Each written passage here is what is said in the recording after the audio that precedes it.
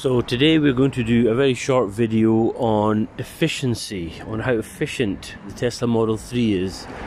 Um, so what we're not going to talk about is um, range, although we will dabble into that and uh, let you know what the range of the vehicle is.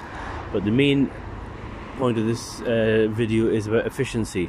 Now this is a Tesla Model 3 it's a 2020 long range, not long range, a 2020 dual motor, which effectively makes it the long range version.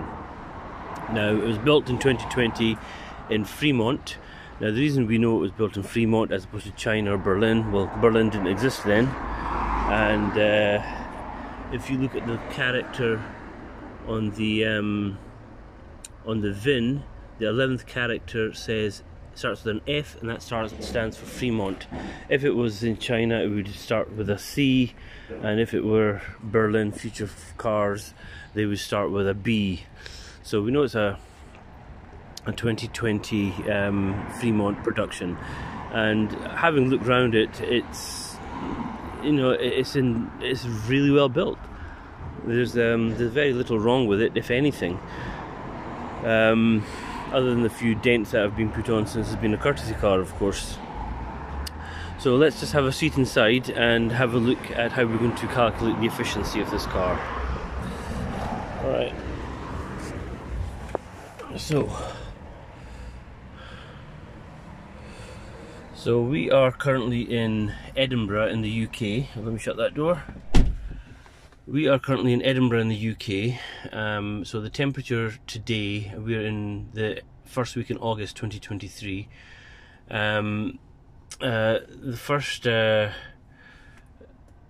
sorry, the first week in August 2023, the temperature is 21 degrees Celsius.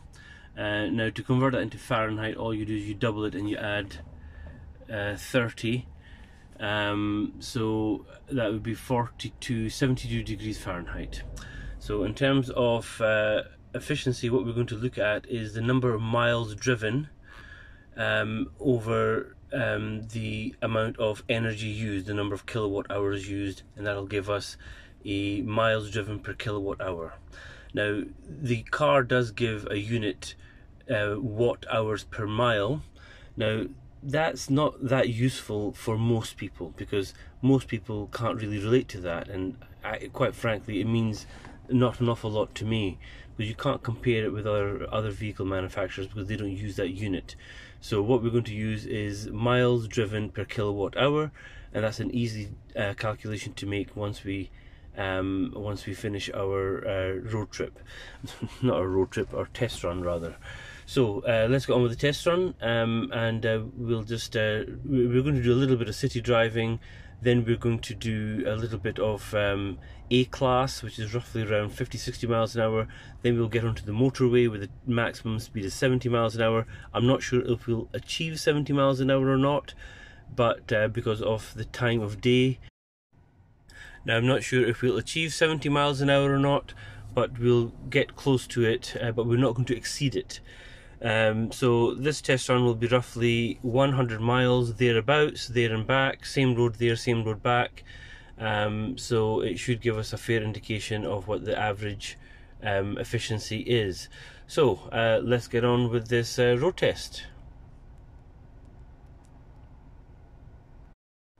So time to get on our way.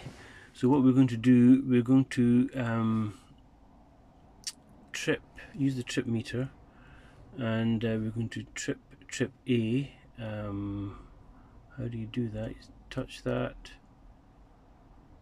Oh, you save that. How do you trip it though? That's the thing. Uh, ah, sorry, down here it says trip A. Right, there you go. Reset. So that's at zero um, uh, miles and zero kilowatt hours energy used. And obviously it gives us that unit of watt hours per mile um, it gives a unit watt hours per mile so we'll just use that as our um, as our trip meter for today. Right so let's get going. Car is started so we just um, uplift. Oh you have to put the pin in so the pin is there we go. They change the pin all the time so the fact that you've seen it uh, means nothing really. Um, so the pin is in and all we do is we uplift that. Display changes to this. The speedometer comes on. The cameras come on. And we are good to go. Of course I still have to put my seatbelt on but don't worry. That'll happen before we leave the driveway.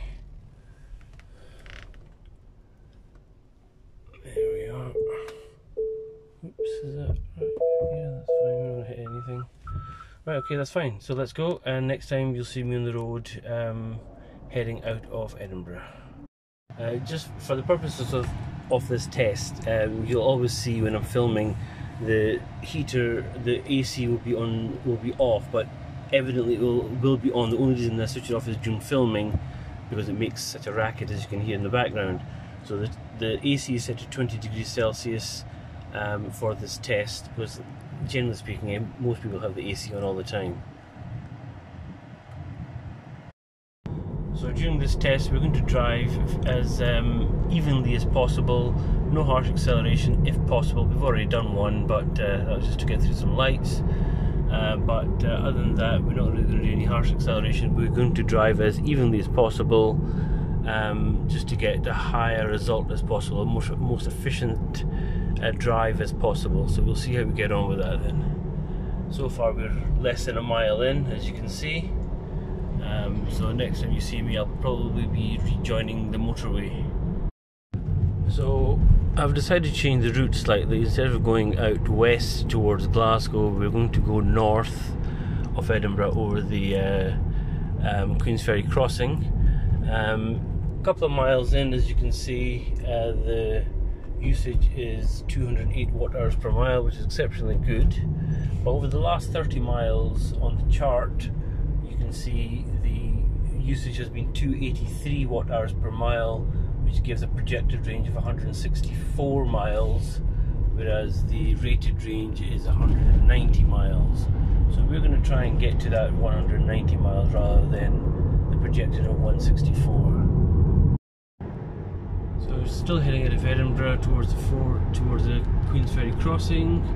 Traffic is uh, quite uh, quite busy here. I mean, we're doing 40 miles an hour here. The speed limit's been reduced just recently, and we are going to stick to the speed limits here. We're not really going to exceed them, but as we go further up, the speed limit does. The speed limit does increase to 50 miles an hour, and then once we're on the bridge, I think it's 70 miles an hour, and after that, it remains 70. So we'll see how we get on as we approach the bridge.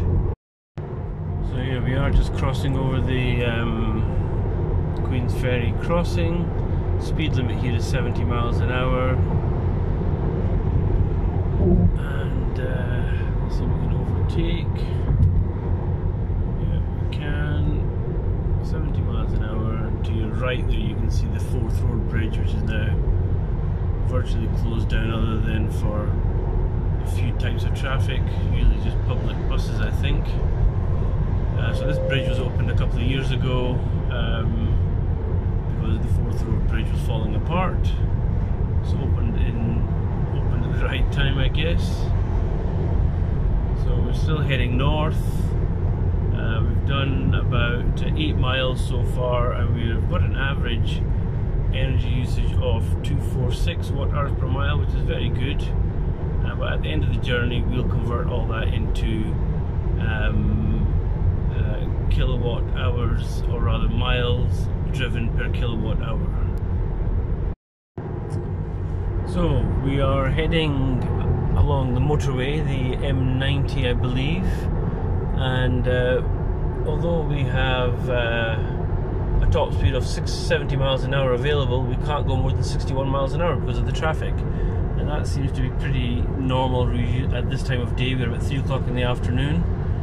Uh, so we're doing 63 miles an hour on a 70 road. Um, I don't think we're going to achieve much higher speeds than that. So what we'll do is we'll do another road test late in the evening uh, when the roads are quieter where we can achieve 70 miles an hour and see if there's a difference um, if in the amount of energy used. Obviously there will be, but it's just to see how much of a difference there will be.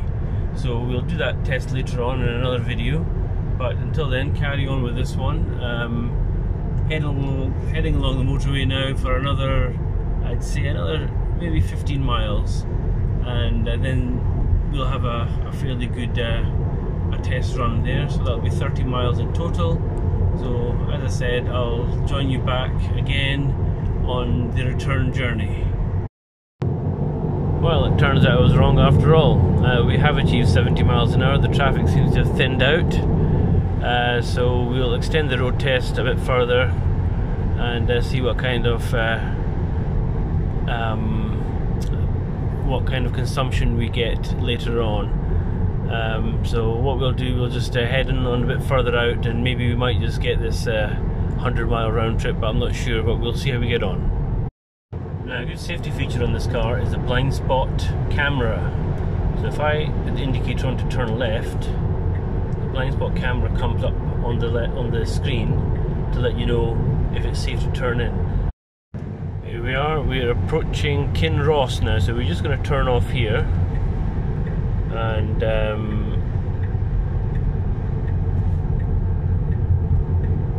and stop at the services and do a turnaround and uh, head back. So here we are at um, Kinross Motorway Services. They're actually uh, building some EV chargers here as well from GridServe. So if we go back to the um, to the screen here, and uh, we go to trips, not trips. It was here we are. It's an interesting one. So we've travelled 24 miles and 31 minutes, and that's 250 watt hours per mile on average we have used. And this shows you the topography of the road that we have travelled on. So 23 miles would probably come to about here. So that's where we would start, and that's the topography of the road. So it's been fairly up and down, so certainly not even, and certainly not flat as you would get in a um, in a, in a laboratory where they probably test these cars. So let's work out how much uh, energy we have used so far. So how we would do that is uh, we'd look at how much energy we've used to travel the 24 miles.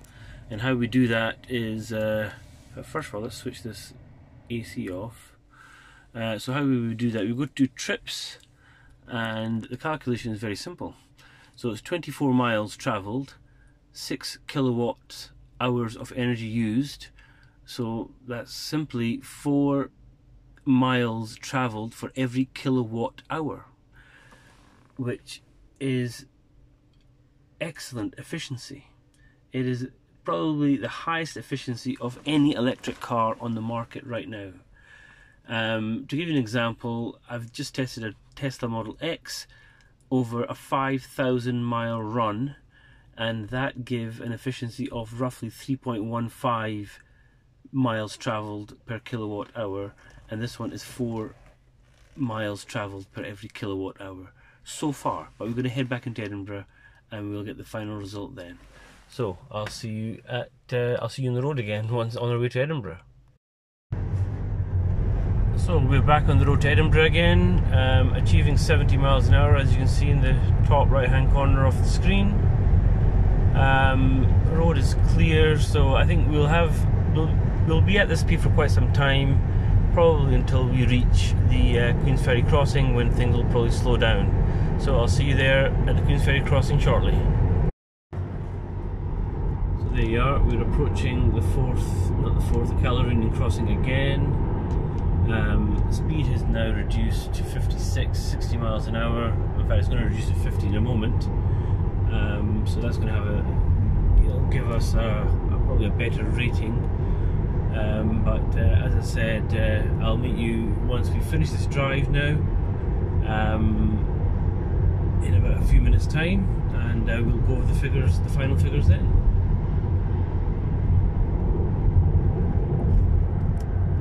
So, final part of the video. We have I have arrived back home, and um, the Model 3 and the Model Y um, and the new S and X that gives you a fair amount of um, data in terms of energy use. And uh, it's worth looking at if you're interested in that kind of kind of thing. So the first thing first things first um, the main event in terms of what was the efficiency of this run that we did.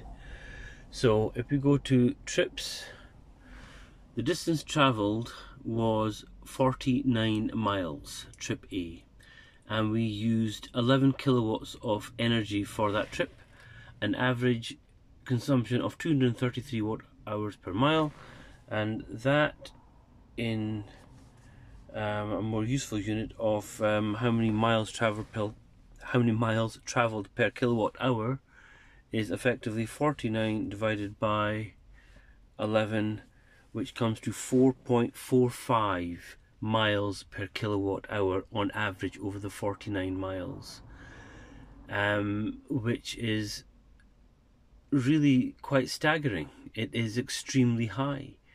Um, there's no doubt about that. I mean I don't know a car that has that kind of efficiency an electric car that gives you that kind of efficiency. Um, but what was the energy used on? And that's another um, tab that you can pick up here on this car is that you can look at the at the drive tab, and this is the part of the journey back um, when I activated this, and this shows you over the last 21 miles only, and it shows how much energy was consumed by the battery for, for instance, battery conditioning. In this case, it was none because the temperature is quite high, it's 24 degrees, which is unseasonably high for Edinburgh. Um, 24 degrees is uh, 78 degrees Fahrenheit. Um, climate control used, say, that reduced the range by 0.8 of a mile, um, and uh, everything else, and elevation, change in elevation that uh, added 0.2 per mile on the second half of the journey. Everything else was 0.2 per mile added on as well. I'm not sure what everything else is, uh, but if you do know, please let me know in the notes below, on the comments below. So that is that, and also um, when you um,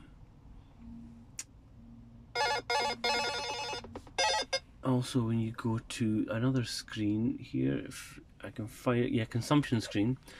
So over the last 30 miles, it used an average of 207 watt hours per mile, and that gives this car a projection of 172 miles, whereas the official uh, rated range is 146. So there you have it. Uh, the main thing, the main takeaway from this is 4.45 uh, miles per kilowatt hour is an exceptionally efficient car. Um, so as I said, if you're looking for an electric car and efficiency is your uh, number one driver, then certainly a Model 3 would be your choice. So listen, that's the end of this video. Um, we'll make more videos. I've got a few more days with this car actually, because my car doesn't come back for a couple more days.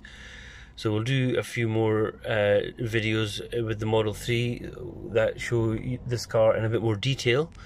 Um, and uh, so please uh, please subscribe to the channel and you can find them quite easily then.